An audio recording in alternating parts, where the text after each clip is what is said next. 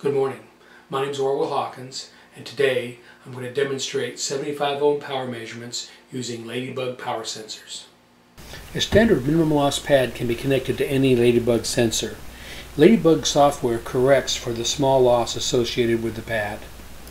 I've set the 75 ohm source to 900 megahertz. Now that's connected to the minimum loss pad which is directly connected to an LB480A power sensor. I've started the application and we're ready to go.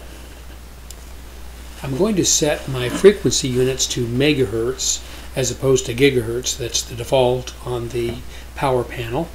I do that under display uh, frequency units and I'll select megahertz here.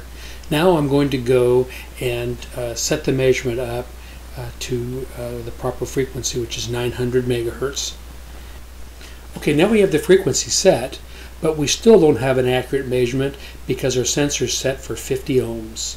So we'll go to the Offsets and Response tab and select 75 ohm minimum loss pad.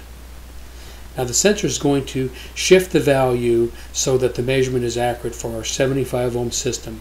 And you can see that we have minus 9 or so dBm measured power.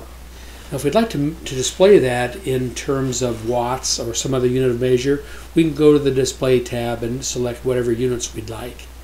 Now we'll turn the, the source up a little bit in terms of power and we can see what, uh, what happens. We're now at one, uh, one milliwatt or so.